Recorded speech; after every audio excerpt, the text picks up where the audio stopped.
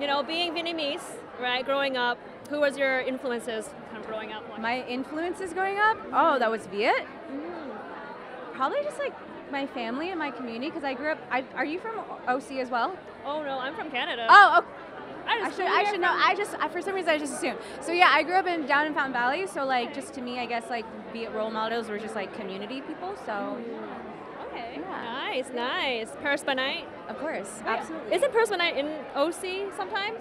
Um, or- I, I don't know, but I know like the family, like Oh. has, yeah. has it there? Yeah. All right. If you're from OC, what's your favorite food there? My favorite food. Um, so uh, my mom's side is from Hue. Okay. So I'm yeah. a Hue girly. So like anything. So uh, somebody has asked me yesterday, cơm hến. Oh, okay. Yeah. All right. Okay. or bánh canh. Oh, bánh canh, you know. Yeah, yeah. Gotta get that Yeah. bánh canh. Last question. Noodles. Yeah.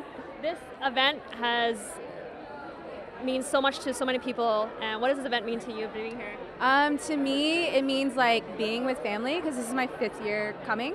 So somebody was asking me like, do you feel nervous walking? I was like, no, I just feel like I'm kind of at home and like I feel like ending the year, getting to see everybody in like the Asian community and like celebrating is just like really fun.